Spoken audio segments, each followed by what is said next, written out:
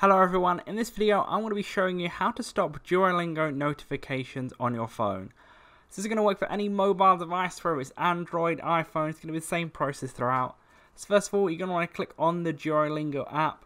It's going to take around about 5 seconds to load up, but uh, once you've uh, got to this screen right here, you're going to want to see uh, the bottom little icons there. You got the second one along, it's going to like the little woman or some type of person icon there. You're going to want to click on that.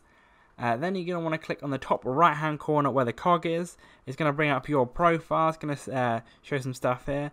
You want to scroll down, uh, uh but you want to stop it uh, when it goes to notifications. And uh, once it's there, you're going to see like a few different things like notification reminders. So first of all, we've got the practice reminder. You're going to want to click the little message icon, the little envelope. You want to click that. So you would be blue, but then you want it just to be white. Uh, so once you've done that, uh, you can go through the other ones. So like things like product updates, new follower, uh, friend passes me. So most of these things are already click blue.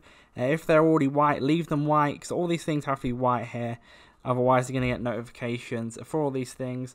Uh, once everything's white, you can. Uh, that's pretty much the end of it because you shouldn't get a notification on anything, whether it's your on your phone or your email. So that should uh, be good for both. And once it's actually done, you're going to click done on the top right hand corner. So that's, that's that.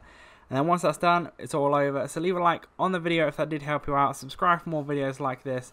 Click one of the other links to videos on screen to see more videos similar. But that's it for now. I'll see you on the next video.